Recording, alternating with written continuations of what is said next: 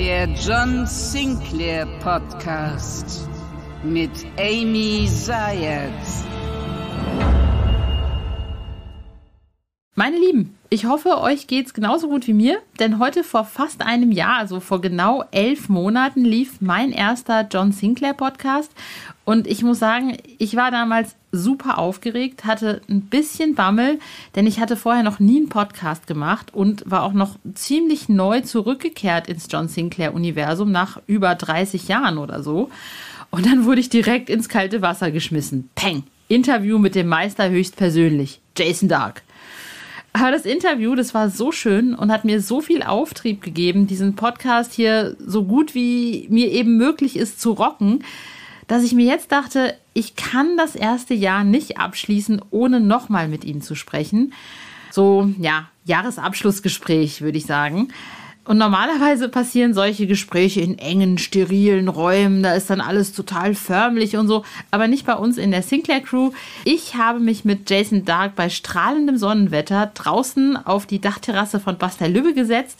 Das ist sozusagen der Kreativraum bei Bastei Lübbe in unserer Sinclair Crew. Da, wo die wichtigen, coolen Ideen entstehen. Also da kann man sich hinsetzen, sein Mittagessen knabbern oder an seinem Kaffee nippen. Da guckt man über die Dächer von Köln, sieht sogar noch den Dom und äh, kann sich da coole Sachen ausdenken. Und ähm, ja, da haben wir uns nett hingesetzt und geplauscht. Und normalerweise sind solche Gespräche natürlich streng geheim, aber nicht bei uns. Ihr dürft natürlich reinhören und ich würde sagen, das machen wir jetzt. Ein Jahr ist es jetzt fast her. Und äh, ihr könnt euch vorstellen, es ist schön, wenn man äh, Vorstellungsgespräche in äh, nicht so in, in dunklen, engen Büroräumen macht, wo äh, der Chef da sitzt und äh, dann sagt, hm, wie war denn so das letzte Jahr? Mein Chef ist cool. Der hat gesagt, wir gehen in die sechste Etage von Bastei Lübbe, ganz oben auf die Dachterrasse. Gegenüber von mir ist der Dom. Und äh, man hat das Gefühl, man kann ganz weit gucken Leider stört mich gerade hier so eine dumme Baustelle, die ihr wahrscheinlich im Hintergrund hört. Die äh, kann irgendwie nichts bei dieser wunderbaren Idylle. Tja, und mein Chef, das ist der einzig wahre. Das ist der Dienstälteste der Autorenrunde bei John Sinclair. Ihr nennt ihn vielleicht Jason Dark, ich nenne ihn Sir Jason Dark. Großartig, dass ich dich wieder sehen und treffen und sprechen darf. Ähm, was hat sich getan in dem letzten Jahr? Ich meine, für uns, also für mich war es acht Monate Hausarrest. Was hast du gemacht? Erstmal mhm, herzlichen Dank für, dafür, dass ich geadelt worden bin. Sir Jason, ja, wunderbar. Und das Jahr ist ja sehr schnell vergangen. Es war, na, man kann sagen, äh, man kann es teilen, es war einmal ein Scheißjahr durch Corona. Und äh, du hast ja selbst gesagt, du konntest auch nicht viel machen. Ich ja, ich hab, äh, bin ab und zu mal nach Düsseldorf gefahren, nach Köln, nach Dortmund. Ich musste raus und äh, habe das auch gut überstanden, bin jetzt zweimal geimpft und habe das Glück gehabt, im Haus arbeiten zu können und ein Haus zu haben mit Garten, sodass wichtig. ich Sinclair-Romane habe schreiben können. Nicht so viel wie sonst, weil ich keine Lust hatte, aber immerhin es sind ein paar geworden. Das ist aber auch spannend. Ne? Ich meine, ich, ich finde das sowieso. Ich glaube, das erste Mal, als wir uns getroffen haben, das war auf der Sinclair Night. Da bin ich ja auf dich zugegangen, als du mal alleine standst. Und das Erste, was ich gesagt habe, ist irgendwie, und das tue ich immer noch, ich bewundere dich total dafür, dass du mit Mitte 70 überhaupt noch Bock hast. Ich meine, du könntest ja auch sagen, komm, ich gehe in Rente, kein Bock mehr, ich ähm, ruhe mich jetzt aus. Ähm, dass du immer noch die Ideen hast. Wie, wie, wie kommt das? Ja, was soll ich sonst machen? Nicht meine Frau würde, sie würde, ach, die würde anfangen zu toben, wenn ich den ganzen Tag da sitzen würde oder vor die Glotze gucke oder nein, nein, nein. Und Hausarbeit kann ich sowieso nicht machen, äh, bin ich zu blöd. Aber ich denke auch, dann schreibt sie doch noch zwei, drei Rumänchen im Monat, manchmal nur einen auch, wenn ich in Urlaub fahre. Ansonsten lasse ich es ganz locker angehen, schreibe praktisch ein Drittel, ein Drittel weniger und äh, komme damit gut zurecht. Hast du denn immer noch so richtig coole Ideen für, für Sachen, die dir immer noch so einfallen? Irgendwie, keine Ahnung, wenn du, wenn du so, wenn du so rumrennst, irgendwie im Garten oder im Haus oder auch wenn du irgendwo bist wie früher? Oder ist das, ist das weniger oder anders geworden? Ja, komischerweise habe ich noch die Ideen, die sind jetzt ausgefallen als früher. Zum Beispiel schreibe ich gerade an einem Roman, die ersten zehn Seiten habe ich geschrieben, über eine demenzkranke Frau, die von zu Hause abhaut, in ihr ehemaliges Haus am Wald und plötzlich erlebt sie dort schlimme Dinge, nicht? Dass irgendwelche Geister kommen, dass in den Wänden sich Gestalten abmalen und mal sehen, wie es weitergeht. Wahrscheinlich glaubt ihr erstmal niemand und jeder sagt, naja, das ist wahrscheinlich, äh, kommt von ihrer Krankheit, liebe Frau so und so. Doch, die Tochter hat ihr geglaubt. Die hat den Sinclair geholt. Ah, das ist gut. Das ist, das ist, das ist, sehr, das ist sehr, sehr gut. Hast du denn, äh, hast du, ich meine, jetzt gerade jetzt auch während Corona oder so, hast du, hast du da irgendwie, keine Ahnung, dir mal die eine oder andere Netflix-Serie oder das eine oder andere Buch als Inspiration geholt? Nee, nee, habe ich nicht. Ich habe inzwischen, ich habe ganz wenig Belletristik gelesen, eigentlich nur äh, Sachbücher. Im Moment lese ich einen dicken Schinken, die Freimaurer. Oh, cool. Ja, oh, oh, oh, das war schlimm, damals vor ein paar hundert Jahren, als sie sich gründeten. Äh, sehr interessantes Buch, 600 Seiten, aber ich komme schon durch. Nicht? Im Moment lese ich äh, ein total spannendes Buch zur Geschichte von Avalon. Und ich bin ja ein großer Fan von Glastonbury. Ja, ja, das gibt's ja wirklich. Nicht? Ja, ich, ich war da. Englische Jerusalem, ach, du warst da. Ui, Ich war da. toll. Es gibt sogar Bilder von mir auf dem Glastonbury Tor. Ui, Ja. ach, das gibt's auch. Ne? Ja. Das habe ich ja nicht erfunden. Nein, das heißt- Das Tor gibt, also de, oder der Tor, das gibt es und äh, darunter ist ja Avalon. An, Mhm. ja, also das ist ja an, eigentlich. Angeblich. Nicht? Genau. Ja. Wir müssen da mal hin zusammen. Das werden die. Ja, meine Frau will ja immer nach England und ich sag, willst du einen Linksverkehr haben? Ja, ich habe ja keinen Führerschein und sie fährt. Nicht? Ich wollte das ja eigentlich, ich will das immer noch. Ich, äh, du kriegst noch irgendwann hoffentlich, äh, bitte bleib gesund, weil ich möchte dich gerne entführen. Ich möchte gerne eine Führung mit dir durch Scotland Yard machen. Ich meine, London und England ist ja meine zweite Heimat. Ja. Und wir beide müssen dahin. Also, Also, äh, ja. Hennes nehmen wir mit. Ja, als, Hennes Bender nehmen wir als mit unseren Gepäckträger, YouTube-Host. nicht? Ja, ja. Und wir fahren, nee,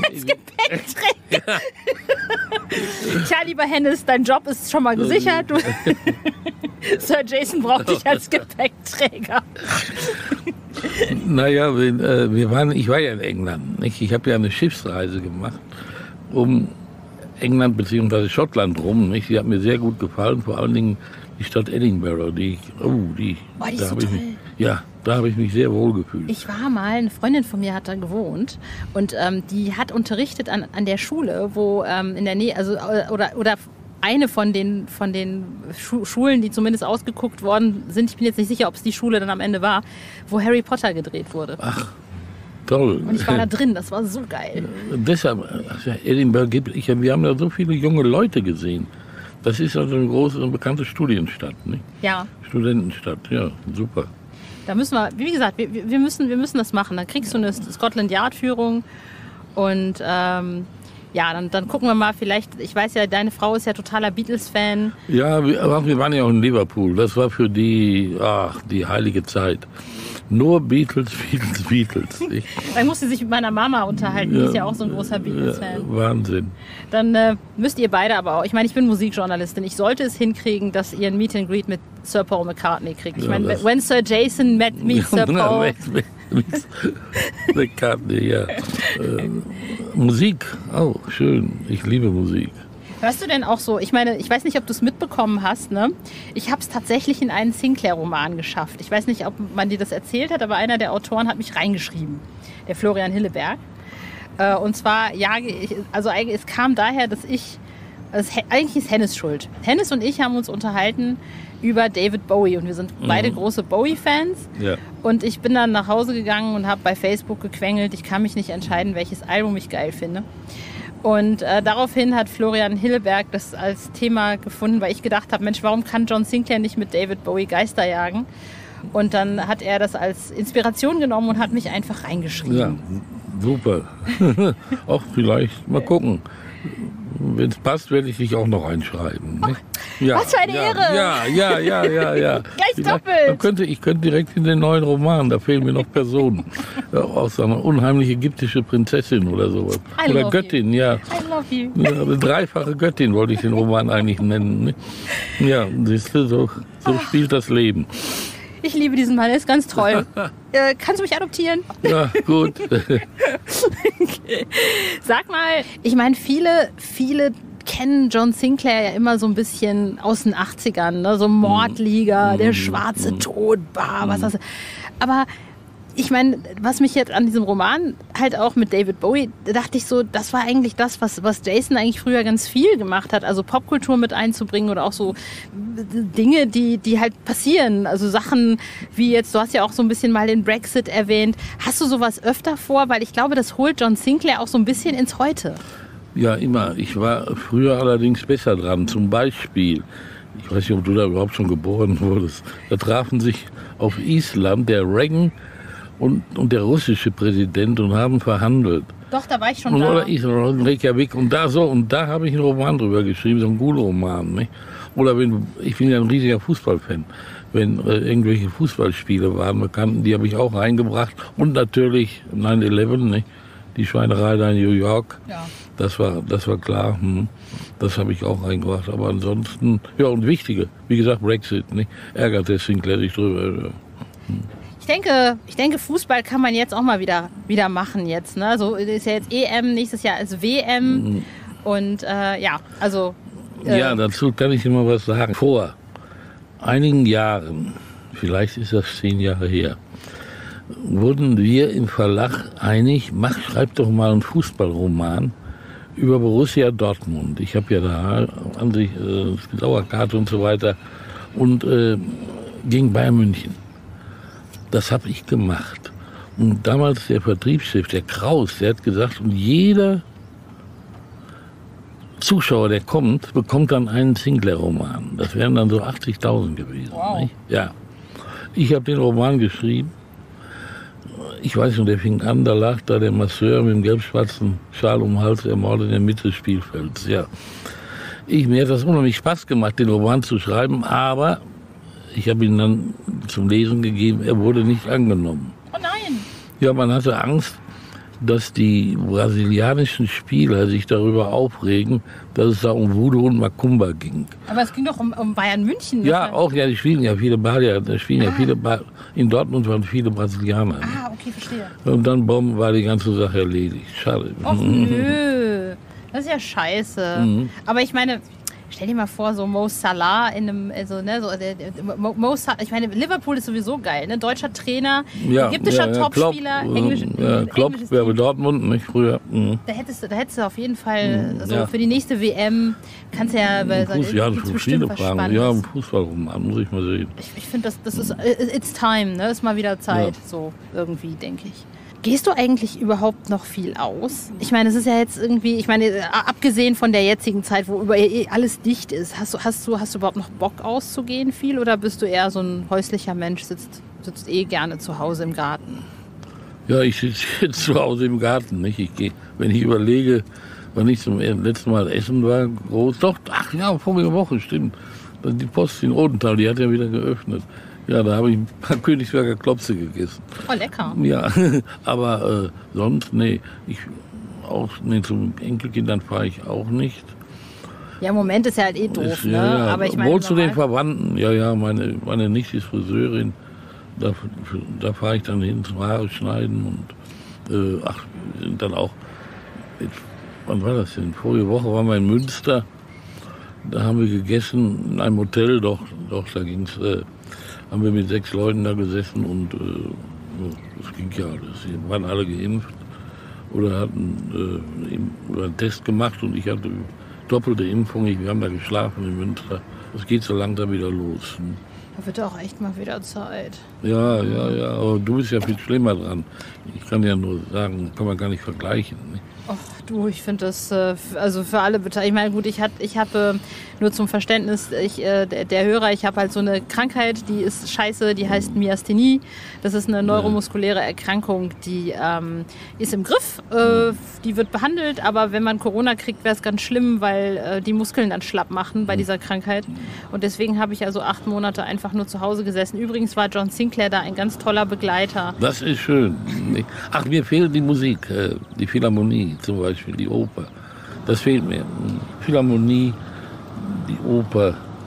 Äh, Gehst du gerne die Oper? Ich ging, ich ging gerne, aber jetzt das scheiß Staatenhaus. Ah, das gefällt mir nicht. Obwohl ich ärgere mich, aber ich habe eine tolle Oper verpasst, den Faust, der in der letzten Woche Premiere hatte, den, aber Kartenhaus, ja. Und es war mir zu warm. Naja, das kann ich verstehen. Ich liebe ja, ich meine, die, die englische Version von Faust ist ja The Tempest von Shakespeare. Ja, Und mhm. die liebe ich ja total. und Margarete heißt ja auch von Faust Ja. mhm, die, bei uns in Deutschland. Ja. Ja, und, und ähm, ich, die Geschichte von Faust ist ja auch, ist ja Die auch ist total. klasse, nicht? Ja, das, die kenn, ich. Ich habe nicht sehr viel von Goethe gelesen, aber ein Faust schon. Eins und zwei. Habe ich noch zu Hause. Hm. Kennst du eigentlich die Geschichte von Dr. D? Also die Dr. D Im- ist ja sozusagen, ist ja eigentlich der wirkliche James Bond. Hat ihn als Alchemisten ähm, angesehen, aber er war auch der Berater von Königin Elisabeth I. und sie hat ihn als Agenten eingesetzt und er war der erste 007. Ach, dann hat der, äh, der Autor, der hat den, der, der Bond, das ist ja Name eines Vogelkundlers, nicht? Genau. Und, äh, und dann hat Dr. D, was hatte der? Dr. D ist eigentlich der wahre James Bond, der lebte im 16. Jahrhundert. Ach, ah, ha, ha, Elisabeth, die erste Maria Stuart, ja, ja, stimmt, im 16. Jahrhundert. Das war, das war Elisabeth I. damals Ja, ja. hm. und Elisabeth I. Ähm, hatte ihn als Berater, Dr. D. Ah, so, Und ja, das- war, nee, das kenn ich 007. nicht. Das das kenn musst du dir unbedingt mal geben. Also Ja. recherchier mal Dr. D, ja. weil der war echt der, das, das wäre natürlich... Beschrieben D-E-E, nicht? Genau, richtig, Ja, ja. genau so. John D. John der hieß auch John D. John D. Also eigentlich wäre es ja cool, wenn irgendwie John Sinclair auf den Geist von John D. Oh, trifft. das ist eine gute Idee. Weil war, er ist ja der erste 007. Hm. Ich gebe dir heute noch Ideen hier. Ja, ja, wunderbar. Ich bedanke mich. Schon im Voraus. Nein, ich buhle eigentlich nur noch, noch mal darum, noch mal zweites Mal in einem Sinclair aufzutauchen. Ja, ja, kann man sehen. Also ich habe ja erst zehn Seiten geschrieben von dem Roman. Da fehlen mir noch Personen. Da kannst du.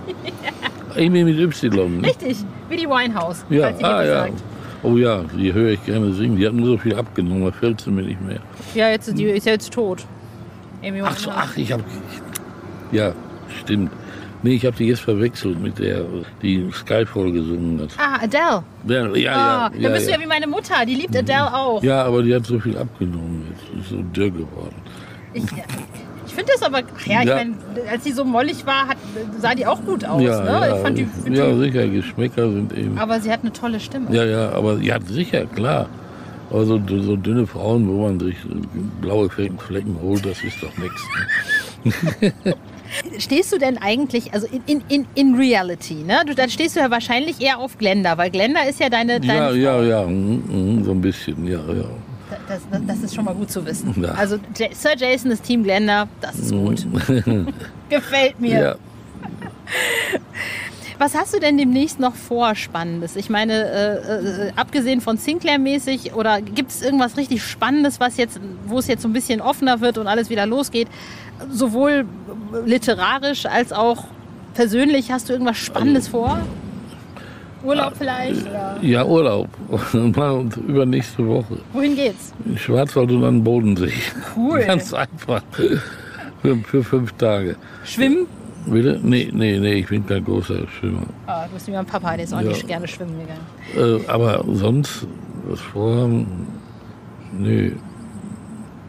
Ich lasse alles auf mich zukommen. Ne? Aber, ja, sicher, ich freue mich über Sinclair, nicht über Johnny Sinclair. Stimmt, der kommt Das ja jetzt Johnny- auch. Ja, bald. ja, dass sie verfilmt das werden, die, die Folgen, nicht? Hättest du dir das je gedacht, dass Nee. es irgendwann mal so massivst ausartet mit Johnny Sinclair und Sinclair Academy gab es ja auch und dann gab es ja auch mal die englischen Hörspiele. Hast du dir das damals gedacht, als du losgelegt hast? irgendwie? Nein, nie, habe ich mir nie gedacht. Ich habe auch nicht gedacht, dass ich als alter Sachser noch schreiben würde. Nicht? Aber äh, ist so gekommen, ich freue mich, ich mache weiter. Und äh, Johnny Sinclair, die hat, das hat mir sehr gut gefallen. Nur, dass die Autorin da nicht mehr weiterschreibt, das wundert mich ein bisschen, um es mal positiv zu sagen. Mensch, da hätte ich doch Spaß gehabt, wenn ich so höre, oh komm, das wird verfilmt, dann mache ich doch noch ein, zwei Romane. Nicht? Aber ist wohl nicht mehr. Schade. Ja. Finde ich, finde ich auch, finde ich auch sehr, sehr, ja, sehr, sehr schade.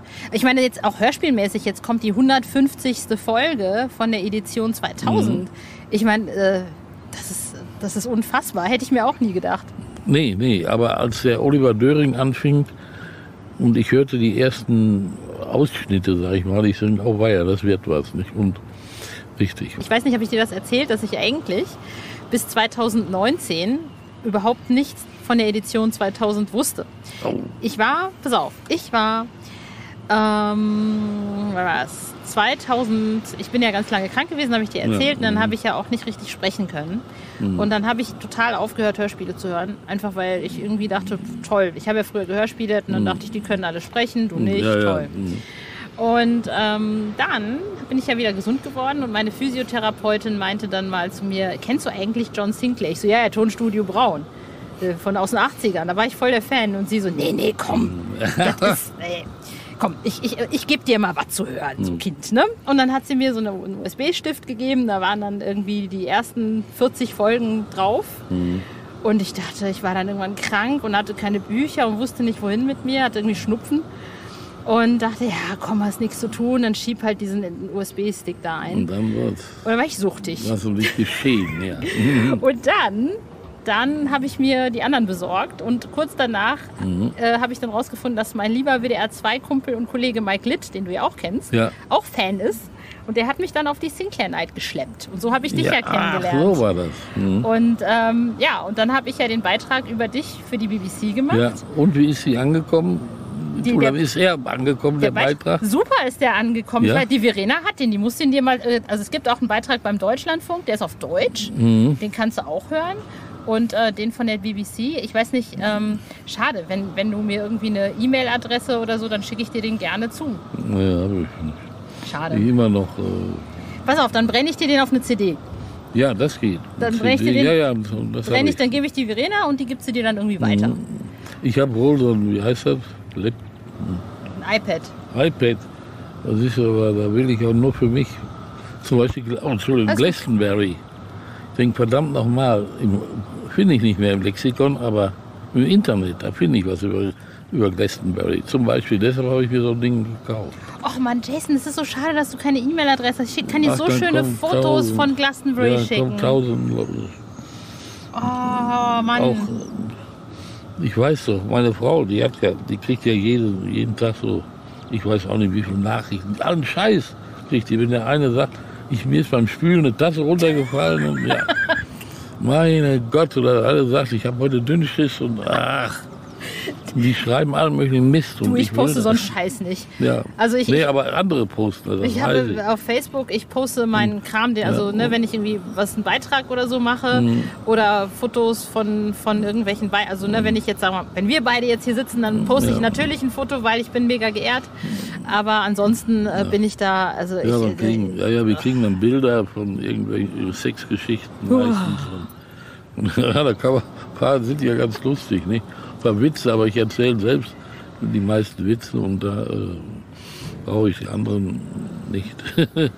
Vielen, vielen, vielen herzlichen Dank, Bitte, dass, ich, bitte. Äh, dass wir das, dass wir, ich würde das beim nächsten Mal, ähm, würde ich sagen, wir treffen uns bei dir entweder in Dortmund oder zu Hause und Zu Hause zeigst mir, genau, und dann Da zeigst du mir alles, alles sehen. Die, Die Aha, Schreibmaschine. Sie kennen das ja. Genau. Ach, die Schreibmaschine. Genau. Pass auf, pass auf. Das ist noch eine schöne Geschichte. Erzähl. Vor ungefähr drei Wochen kam eine Freundin an äh, mit ihrem Mann. Wir sind schon da, ach, wir kennen uns schon seit die Kinder im Kindergarten waren. Sag, hör mal, äh, wie ist das eigentlich mit deiner Schreibmaschine? Brauchst du wieder welche? Ja, ich denke, ja. Könntest du nur eine Ersatz, Ersatzmaschine könnte ich, könnte ich gebrauchen. Ja. Ja, sagt die, ich gucke mal im Internet nach und so weiter. Und dann hat sie eine gefunden, außer die ich habe, die Monika. Hat die bestellt, ich habe 40 Euro bezahlt und äh, denke, ach, stell sie erstmal weg mit der alten Schreibmaschine.